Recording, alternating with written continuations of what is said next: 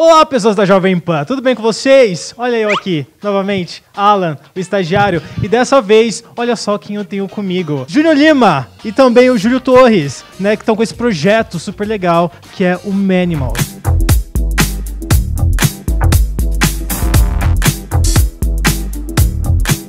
Também a gente vai fazer um jogo com eles, tá? Nós vamos falar primeiro do Manimal. De onde surgiu, como é que é, o que é esse projeto? Manimal é um projeto de música eletrônica onde a gente produz músicas interessantes, divertidas pra festa, pra clube. Importante dizer também que é basicamente é tipo house com influências de bastante influências de soul e tal e também de rock, que faz muito parte da nossa nossa essência aí musical. De onde surgiu esse projeto? Vocês se barraram, ah, vamos fazer um projeto aí, vai ser bem bacana. Cara, Como é que surgiu isso? Quase isso. A gente já teve um projeto, trabalhamos, viajamos quatro anos fazendo som e a gente tinha uma vontade de ir pro estúdio e produzir as nossas próprias músicas. Agora houve uma oportunidade de se encontrar desse jeito que você falou aí.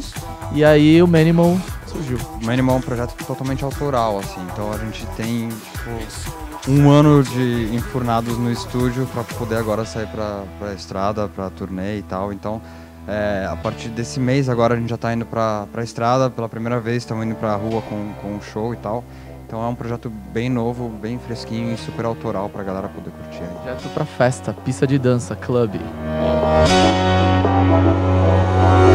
Won't you think, won't you think Ou seja, festas e baladas já podem começar a contratar, tá bom? Por favor, que eu quero muito dançar ao som de Manimal quando eu for pra balada. Agora a gente vai fazer um jogo com vocês. Um jogo chamado Três Coisas. Vou perguntar, dar um tema, vocês vão me responder três coisas sobre esse tema, beleza? O que vier na cabeça. Vamos lá. Vamos começar com três coisas que irritam vocês. Quando você tá, tipo, naquela fila, tá, você tá dirigindo, aí você tá naquela fila, cai tudo pra direita, você vai entrar à direita. E aí, tipo, todas as faixas daqui estão andando reto. Sei lá, sei lá, você tá na marginal. E aí tá tudo parado nessa fila pra entrar à direita. E você tá, tipo, há 10 minutos naquela filinha esperando a sua vez de entrar e vem um cara na outra faixa e, e embica na tua frente na hora de você fazer a conversão, sabe? Isso me irrita profundamente. Fuck me, huh? Fuck me! That what you said? Huh?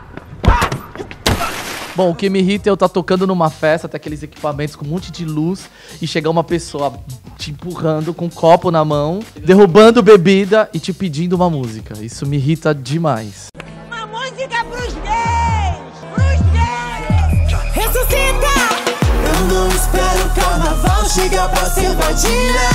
Sou todo dia, sou todo. Falta uma coisa que irrita, né? Acordar cedo na segunda-feira me irrita. me irrita, tá? Me irrita. Telemarketing. Tá achando que eu sou babaca? Três coisas que vocês têm muita vergonha que aconteceu no passado de vocês. Vocês não queriam nem falar, mas dessa vez vão falar. Coisa de escola, né? Tipo, é, quando a minha mãe penteava o cabelo, velho. Puta, a pior coisa é a mãe pentear o seu cabelo e fazer você ir pra escola daquele jeito. Isso, isso era vergonhoso, assim. Eu, eu era bulinado na escola por conta disso. Pô, ah, caraca, tô tentando pensar aqui. Acho que já passou, eu já tive vergonha, mas já, já superei. Mas aquela fotinha da banheira do miojo, né?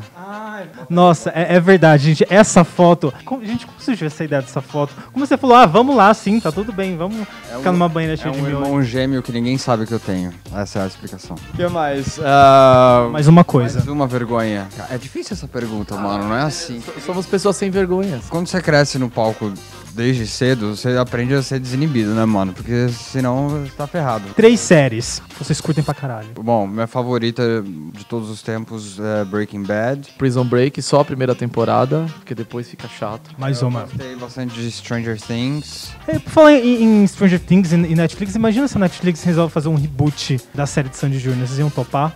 Ou um, um episódio especial, né? Como rolou, né? Com várias, com várias outras é, séries que foram muito sucesso, fizesse tipo um episódio mega especial. Imagina que o elenco todo, grande maioria das pessoas, tá super ativa ainda como ator e fazendo um monte de projeto ao mesmo tempo, não sei o quê.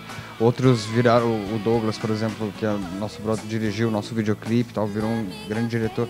Enfim, todo mundo tem uma agenda própria hoje em dia, então é muito difícil juntar tudo isso. E, então acho que deve- dependeria muito dessa disponibilidade de todo mundo, porque é fundamental que todos os personagens principais, pelo menos estejam, se fosse fazer um negócio desse. Minha agenda, a agenda da Sanji, a agenda da- do, do elenco todo. Então eu, teria toda essa questão aí.